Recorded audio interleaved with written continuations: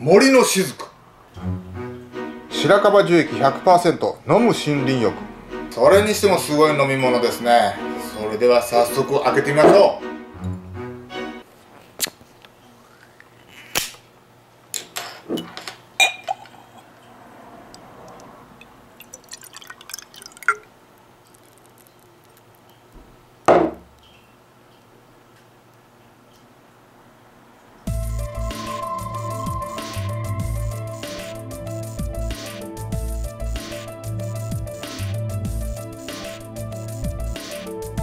これねここの瓶に説明が書いてるんですけどね。早春の自然が分けてくれたナチュラルドリンク。開花海洋に必須な養分を含む白樺にとっての生命の水ですってね。これ抜かれた白樺どうなっちゃったんですかね。ちょっと心配です。それでは白樺さんに感謝しつついただきます。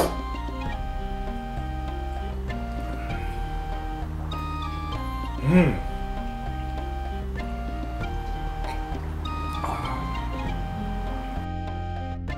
これまあ白樺樹液100%ってことなんでね。そのまま抜いてきた水なんでしょうけど。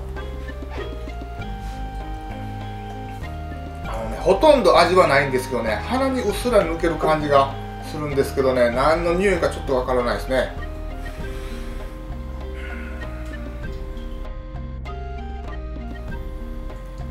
ただね舌がねギシギシします。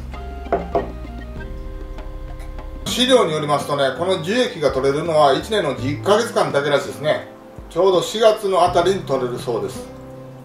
白樺の幹に穴を開けて取り出すみたいですね。